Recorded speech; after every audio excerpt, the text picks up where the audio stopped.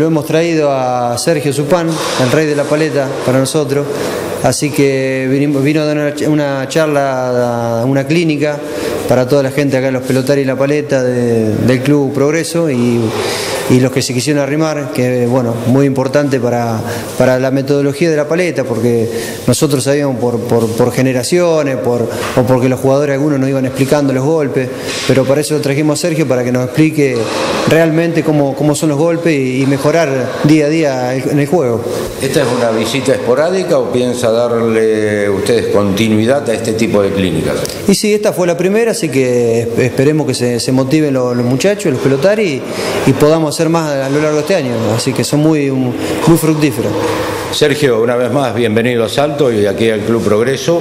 Y bueno, ¿y qué es lo específico en que haces hincapié en este tipo de clínicas? Bueno, muchas gracias por estar acá.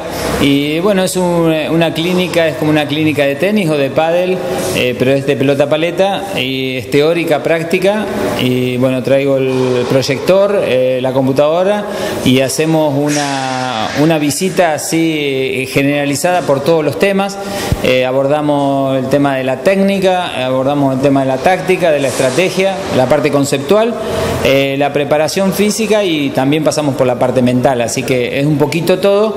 Fue una clínica para adultos porque este deporte un poco se enseñó a través de generaciones en generaciones, por vivencia y experiencia de jugadores que habían llegado a jugar bastante bien, eh, pero hoy ya después de trabajar 15 años ya tenemos cursos y tenemos una metodología y un sistema eh, que va de lo fácil a lo difícil, como todos los deportes, con todos los elementos, que acortan los tiempos de aprendizaje. Entonces, en 8 o 10 clases podemos hacer jugar a la paleta un partido a alguien que no juega nada, digamos. Eso para nosotros es muy importante para acercar gente nueva.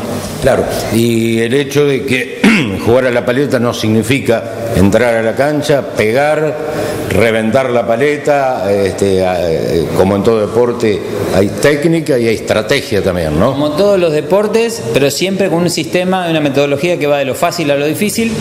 La persona que recién llega y que nunca jugó, bueno, empieza por la parte de entrada en calor, coordinación y trabaja con pelotas que son mucho más lentas, más grandes, acorde a la capacidad de cada, del que llega, ¿no?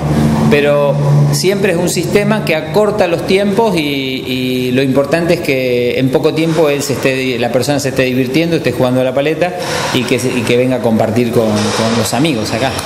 ¿Y qué notas vos en este tipo de clases, en este tipo de clínicas, en ese ida y vuelta que hay de, profesor a alumno, digamos?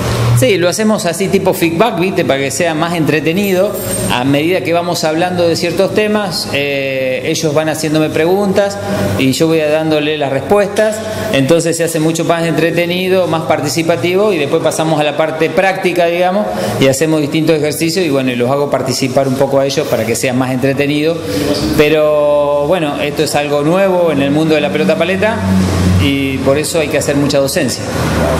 Gracias, Sergio. Seguí trabajando porque creo no terminaste todavía. Sí, no, todavía no.